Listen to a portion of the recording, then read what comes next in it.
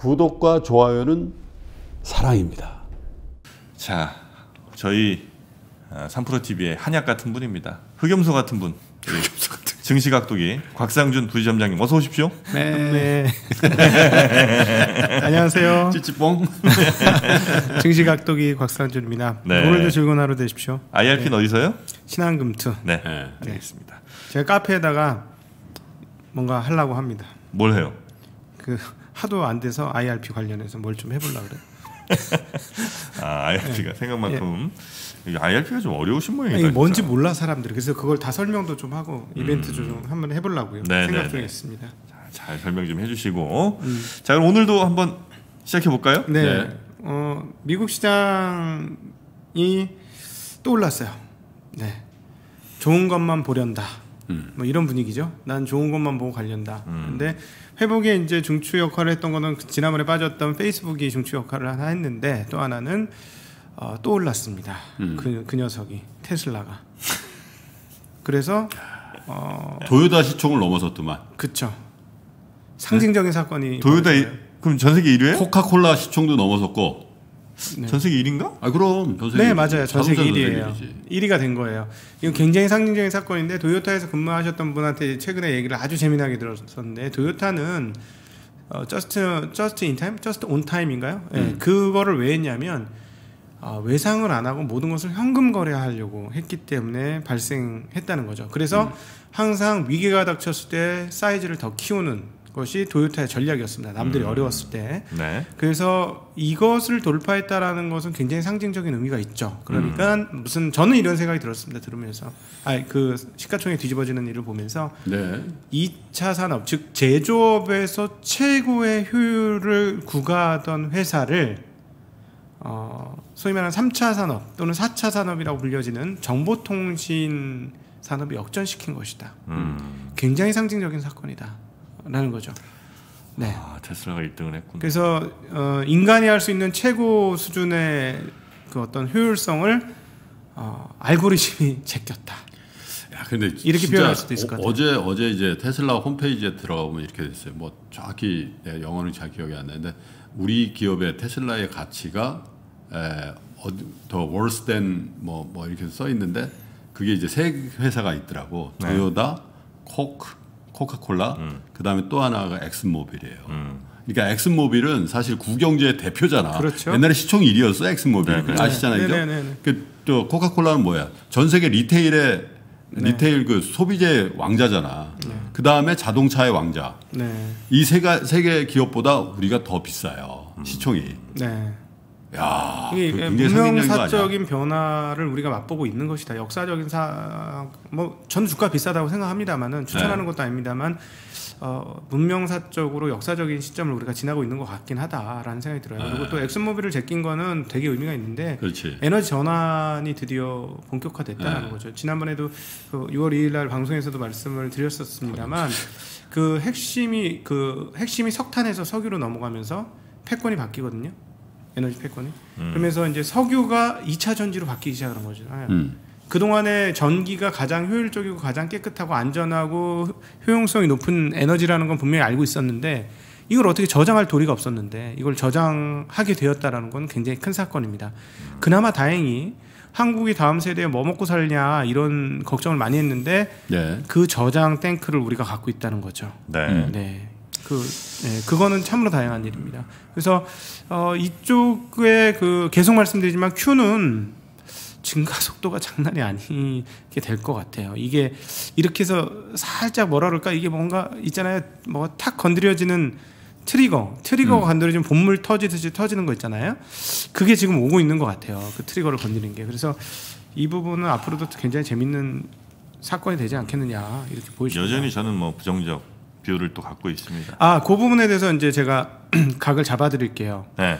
어, 이렇게 보시면 돼요. 음, 제가 어제 아주 좋은 차를 한번 잠깐 타봤어요. 네. 뭐 뭐, 시, 뭐 이렇게 시중에 판매되는 것 중에 가장 좋다는 차를 하나, 한번 잠깐 국산 외산 외산 에, 타봤는데요. S500이구나. 에, 더 좋은 거예요. 근데 타봤는데 아 이거 뭐 실내 인테리어가 아주 뭐 훌륭하더라고요. 음. 그러니까 무슨 말이냐 제조업이 만들어온 그런 이렇게 이게 있어요. 쌓아 올려왔던 관록이 있어요. 음. 어, 그리고 소위 말해 뭐 reference라고도 표현할 수 있는 그게 있는데 네. 이 부분은 못 쫓아와요. 테슬라가 네. 단차로 대표되는 음, 음. 이런 거는 공간이 굉장히 많아요. 네. 그러니까 어, 앞으로 이거를 쫓아가려면 5년이 걸릴지 10년이 걸릴지 몰라요. 음. 이런 어떤 기존의 자동차들이 보여줬던 안락성, 그다음에 그, 그 어떤 네네네. 고급성 뭐 이런 거 있잖아요. 그런 거 쫓아오려면 시간이 상당히 걸릴 건데 뒤집어서 또 따르게 보면 미, 일본 연구소가 얘기했던 듯이 도요타 대비 알고리즘 즉 소프트웨어 기술은 6년 앞서요. 테슬라가. 네. 그러니까 이거는 또 이쪽의 과제예요. 지금 양진영이 어, 누가 반대 진영을 캐치업할 것이냐인데 자 누가 유리할 것인지 우리는 생각해 봐야 돼요. 네, 껍데기를 누가 잘 빨리 캐치업을 할 거냐 아니면 알고리즘을 캐치업할 거냐 이 두 진영의 싸움인 거죠 한 축은. 그러나 또 다른 축은 또 따로 있죠. 실제 제가 죽수하고 그거 할 때 그 얘기는 안 드렸었는데 아마존이 죽수를 인수했고 그 다음에 이제 어 누구야 저기 저기 갖고 왔잖아요. 어디야? 아 이름 생각 안 나네. 아 저기도 어, 전기차도 망하고 이렇게 재편이 되고 있잖아요. 음 이건 무슨 말이냐? 아 자동차 회사가 경쟁사가 될 거냐? 플랫폼 회사가 경쟁사가 될 거냐? 이거 그러니까 삼 이게 뭐랄까 두 개의 전선이 형성돼 있어요. 음. 어, 구 자동차 주식들하고 또 그리고 신 플랫폼 기업들하고의 음. 이거 그래서 신 플랫폼 기업하고의 그 전선에서는 눈에 띄는 게 저거죠. 윈공위성 쌓아 올린 거. 예, 그 뭐죠? 그 그 그것과의 이 전선이 형성돼 있어요. 그래서 재- 재밌어요. 앞으로 이게 어떻게 펼쳐질지 재밌고. 그래서 자, 네. 미, 네. 그 테슬라 정프로는 네. 저기 테슬라는 나는 아니라고 계속 주장을 하는데 네.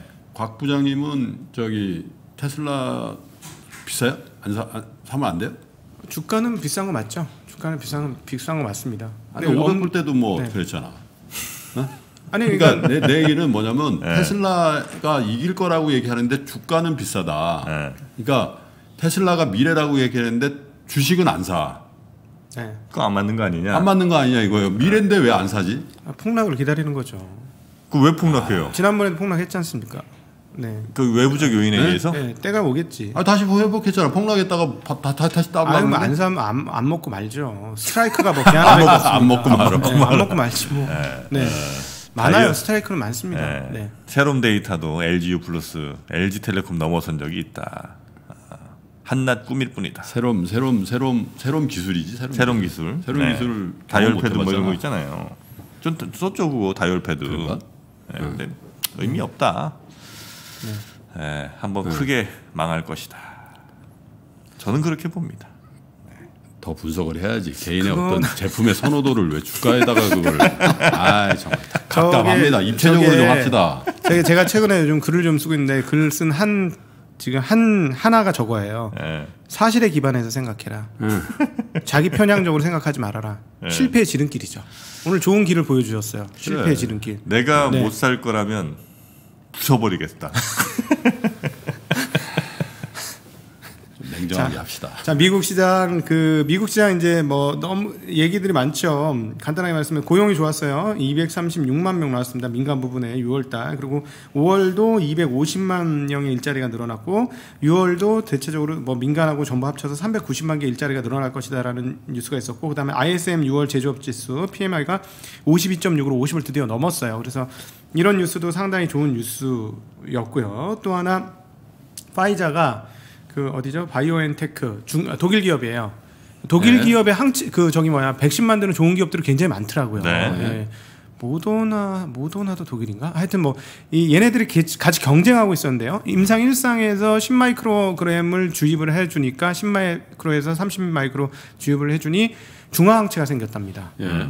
중화항체가 뭔지는 의사들한테 물어보시고 네, 그게 좋은 거래요. 하여튼 뭐 낫게 되는 건가 해봐요. 그래서 그 그게 생기면서 어 좋아져서 이게 이제 백신에 대한 희망감이 있었어요. 뭐 여전히 음, 코로나의 상황은 좋지 않은 상황이 유지가 되고 있는 것이고 그러나 그래서 제가 말씀드린 좋은 것만 보련다. 음. 나는 그냥 좋은 것만 보련다는 게 지금 시장인데 네. 어 정말 중요한 뉴스 중에 하나는 그 연준 FOMC 의사록이 내가 조금 얘기했어요 했어요. YCC YCC 네. 얘기하셨어요? 예, 조금 얘기했으니까 더 자세히 해주세요 네, 네, 네, 네. 그 그러니까는 아 어떻게 경기 판단하고 있냐면 이례적이고 불확실하다. 현재 경기는 위험이 네. 상당하다라고 얘기했고 당분간 완화적인 태도가 필요하다. 예. 통화 정책이 필요하다. 이렇게 네. 얘기했습니다. 자, 여기서 우리가 알 수 있는 건 2022년까지 금리 안 올릴 거다. 음. 라는 거예요. 근데 시장이 YCC에 대한 기대가 있다 라고 얘기했는데 그 부분에 대해서는 좀 신중하게 생각해 봐야 되겠다.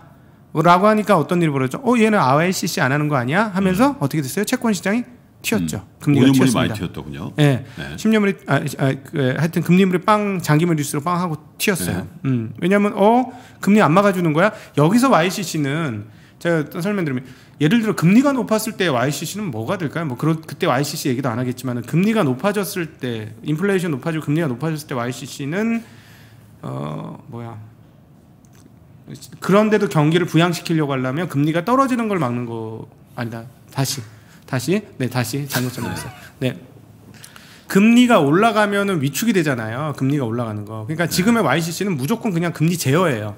예, 금리. 낮추는 거죠. 예, 낮추는 거. 금리를 낮은 상태로 유지하겠다. 그래서 인플레이션을 허용하겠다라는 건데 어, 지금 FOMC 의사록에서 나오는 얘기는 뭐냐면 물가 상승률 2%가 초과되는 것 을 용인하겠다. 음. 그다음에 제로 금리를 지속하겠다는 게 핵심이에요. 그러니까 금 지금 뭐 물가 상승률 2% 안, 한참 안 나오잖아요. 지금 그러니까 어 일단 계속 그 금리를 낮추어서 해줄 거라고 시장은 기대했어요. 처음에는 마이너스 금리, 마이너스 줘, 마이너스 줘 이랬는데 마이너스 안 줘. 그러면 아 오케이 그러면 yield curve control 낮게 낮게 빨리 보증 도장 찍어줘 이랬는데 도장 안 찍어.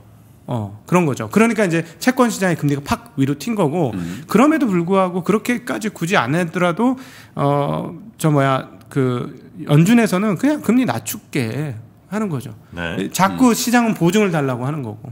근데 태도는 분명히 뭐냐면 낮은 금리를 유지하겠다는 겁니다. 그러니까 시장이 편안한 거예요 지금. 음, 이렇게 낮은 금리인데 어, 누가 은행에다 돈을 맡겨 바보야? 뭐 이런 분위기인 거죠. 어. 그러니까 계속 어, 안 그래도 미국 시장은 사실은 제가 이제 최근에 좀 공부하다가 워렌 버핏의 수익률이 기가 막히잖아요. 기가 막힌데 네. 또 하나 기가 막힌 게 뭐냐면 S&P의 수익률이었어요. 어디? S&P 500의 수익률도 기가 막히더라고요. 그러니까 S&P를 두 배 상회 대체를 하더라고요. 진- 제가 이제 지금 2000년까지 봤는데 2000년까지는 두 배 상회예요. 그 에- 저기 워런 버핏 버크셔는 23% 정도 연평균 수익률이 나오고 어, S&P 500은 11%예요. 예. 그러니까 이렇게 계속 시장을 이렇게 뭐랄까 살려줘야 된다는 사회적인 그 전 대전제가 있어요. 이건 죽이면 안 돼. 이게 우리의 살 길이야. 이런 분위기가 미국에 있는 거죠. 한국과처럼 한국처럼 모르겠어. 뭐 잘 되면 좋지 뭐. 뭐. 이게 아니. 이게 아니. 아 정말 또 다시 안타깝네. 네, 하여튼 뭐 한국 시장하고의 사람들이 대하, 대하는 질이 달라요. 네, 질이 좀 다르다는 거. 그러니까 연준이 계속 이런 태도를 취할 수밖에 없는 것이고, 네. 그러니까 투자자들이 상당히 편안하게 투자를 할 수 있는 여건이 계속되고 있는 상황이다. 이렇게 볼 수 있습니다. 그래서 사실은 어제 나왔던 여러 가지 얘기 중에서 제 눈을 가장 확 잡았던 것은 바로 이 부분이고요.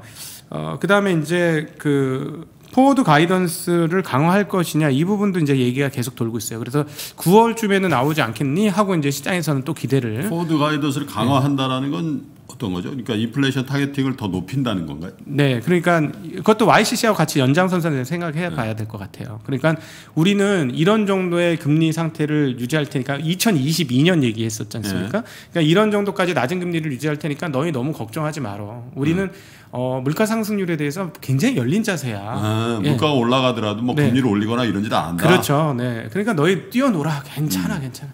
괜찮아. 이뭐 그러니까 이런 시장에서는 뭐 보증서를 써달라 그러는데 네. 말해야 하니 니네들 예. 알잖아 나 이렇게 얘기한 거네. 그렇죠. 그러니까 이제 홀딱 잡아먹는 애들은 누구냐면 주식시장 홀딱 잡아먹죠. 아 맞아요, 네. 형 맞아. 연준이 형이 최고야. 음. 이러면서 그냥 어제도 말씀드렸지만 그냥 깃대를 갖고 리본 깃대를 갖고 있으면 그냥 리본 저절로 막 움직이는 상황인 거예요. 지금 계속 그런 상황인데 그러나 계속 또 우리가 더불어서 생각하셔야 될 것은 한쪽 예. 측에서는 어, 코로나라든가 이런 것의 악재가 끊이지 않고 실제로 보면 지금 ECB 같은 경우에서 뭐라고 얘기하고 있냐면은 어, 그이 지금 이전 상태로 회복하는데 2021년 말이 돼야 될 것이다 얘기하고 있어요. 코로나 코로나 이, 에, 이 네. 코로나 이전 상태의 경제를 회복하는 데는 2021년 뒤쪽으로까지 가야 된다. 예. 네. 그리고 샌프란시스코 연은의 데일리 총재는 어 그 뭐냐 뭐라 그랬냐면 실업률이 아주 좋아도 연말까지 10%를 상회할 것이다. 실업률이. 그리고 또 하나 코로나 이전 수준까지 경기가 정상화되려면 4, 5년 정도의 시간이 필요할 것이다. 이렇게 얘기하고 있습니다. 그, 그러니까 뭐 당연히 뭐 이런 정도로 뭐 1년이 아니고 2년, 3년, 4년 뭐 이렇게 시간이 걸린다면 네. 그래 용인해 줄게 한번 놀아봐 이런 분위기를 만들 수밖에 없는 거죠. 어, 하여튼 그리고 또 22 총재도 뭐라 그랬냐면 어, 이번에 코로나 19로 인해서 상당히 그 어려웠고 다만 지금 최고 어려운 시기는 탈피를 했지만 회복 경로는 매우 험난할 것이다라고 어, 이야기했습니다. 네, 어쨌든 어, 오늘은 그 중앙은행들의. 발언들이 여러 개가 있었고요. 음, 그러니까 뭐 어쨌든 금리 낮출 거고 그러니까 미국 시장이 되게 편안한 거예요. 거기에 네. 비해서 이제 한국 시장은 어제 어 이제 에너지가 다 떨어진 느낌?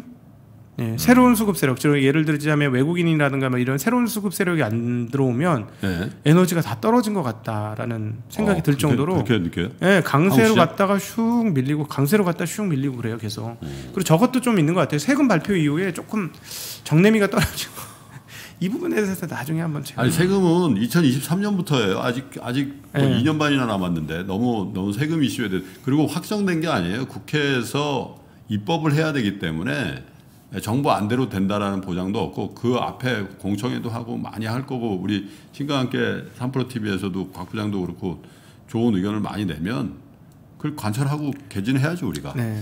그러니까 미국 시장 같은 경우는 아까도 잠깐 말씀드렸지만 장기간에 걸쳐서 연평균 수익률이 10% 내외가 나오는 시장이었어요. 네. 그 시장에는 25% 뛰어가도 괜찮아. 왜냐하면 내가 계속 벌 수 있으니까. 근데 한국은 정말 잘하는 사람만 벌었어요. 진짜 실력 있는 사람만. 왜냐하면 지수가 10년간 동일하니까. 그렇죠. 10년간 지수가 동일한데 보통 사람은 돈을 못 벌어. 그래서 상기해 주는 거 되게 감사한 일이에요. 저는 그건 감사한 일인데 어, 잘하는 사람만 돈을 버는데 어, 이 사람들한테 세금을 떼가면 어려운 시장에서 내가 열심히 했는데 세금을 떼어가 이러면 굉장히 부정적이 되겠죠. 근데 저는 세금을 걷는 게 맞다고는 생각합니다. 맞다고는 생각하는데 어, 이걸 삼계 처리하고 이런 것들을 굉장히 편리하고 합리적으로 해야 되지 않을까 하는 생각을 하고 있습니다. 양도세? 네, 양도세를 아니, 타이밍의 문제죠. 그걸 지금 해야 될 이유가 뭐가 있어요? 음. 꼭 지금 이 동학 개미들 개미들이 막 들어와 있는데 지금 합니다. 그 굳이 그렇게 해야 되나? 지금? 그러니까는 한국 시장 어려운 시장이에요. 어려운 시장에서 어렵게 했는데 뭐 하여튼 뭐 그, 거기까지만 얘기하겠습니다. 네. 네. 알겠습니다. 하여튼 뭐 오늘은 이 정도로 네. 보내드리도록 하겠습니다. 함께해 주신 아 세금 얘기 나오니까 또. 열 받으세요. 증시각도기 곽상준 부지점장님 고맙습니다. 네, 감사합니다. 고맙습니다.